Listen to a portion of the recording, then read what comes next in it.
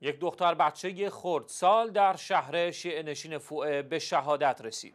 سنی های تندرو امروز از منطقه بنش در مجاورت دو شهر شیعه نشین فوعه و کفریا اقدام به گلوله باران شهر فوعه کردند. در این حمله یک دختر بچه سه ساله به نام فرح ایمن از زین به شهادت رسید.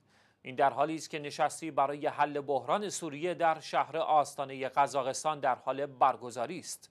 روز گذشته نیز ده تن از مردم فوعه و کفریا با برگزاری تجمعی خواستار پایان محاصره این دو شهر شدند. آنان به اعتراض به سازمان ملل از شرکت کنندگان در نشست آستانه خواستند تا این دو شهر مشمول هر گونه توافقنامه آتشبس احتمالی یا تثبیت آتشبس شوند.